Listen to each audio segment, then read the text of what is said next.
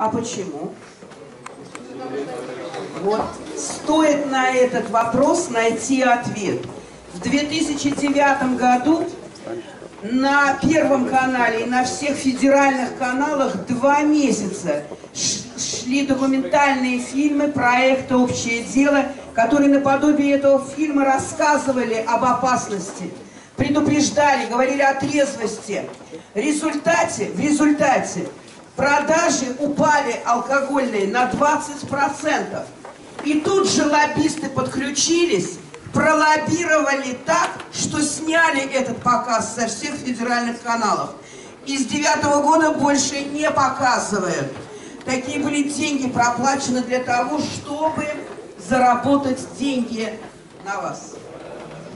Мне в прошлом году с моими соратниками пришлось работать над проектом закона запрета джин-тоников.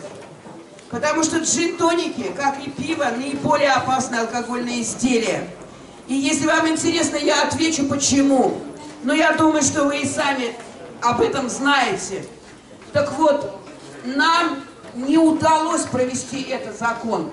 Сейчас сначала в части э, областей удалось, Частично удалось в Саратове, частично. Один ГОСТ только запрещен, остальное все стоит. Что они сделали? Как только этот ГОСТ запретили, они переделали наклейки производители, написали другой ГОСТ, написали другое название и то же самое продают в магазинах. А недавно мы обнаружили на одном из углов в Саратове автомат. И этот автомат продавал алкогольные настойки типа боярышника по 30 рублей. 30 рублей бросаешь в автомат, получаешь бутылочку. Написано лосьон 20 рублей. Лосьон для внешнего употребления, не для внутреннего.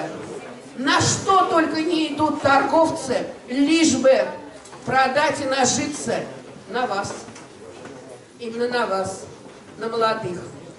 Мы сегодня с вами говорим, вот пока этих фильмов нет на каналах, основных федеральных каналов. Они когда-нибудь туда вернутся, я в это верю.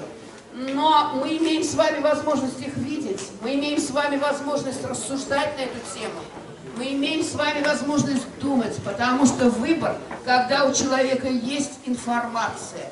Я передаю слово своей молодежи. Если у вас будут ко мне вопросы, я готова отвечать. Если